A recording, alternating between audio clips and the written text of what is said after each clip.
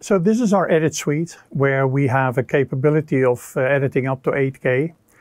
And the other thing that we do in here is we have a 5.1 Dolby setup for audio, but we also have an 8 channel surround sound setup with four low speakers and four high speakers so that we can locate audio wherever we want to in the room.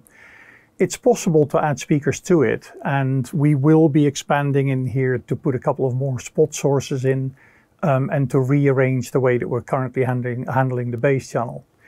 The principle of what we're doing is that here on the desk you can see one of our um, stick processors, which is actually the unit that is generating the audio for us to be able to do audio edits and testing within this space.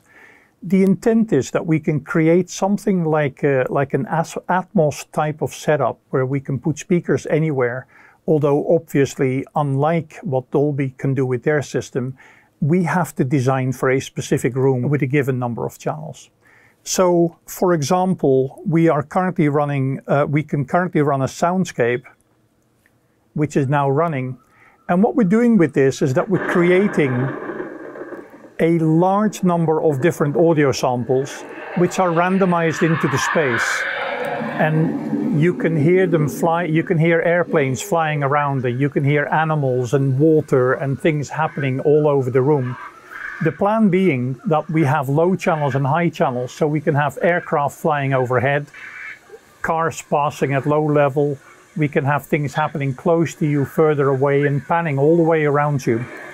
So controlling this with something like this which is just my iphone um, I can put rain into this room, I can call up a helicopter which will come over and it will land over there. And you can really locate all of this audio to that level of accuracy.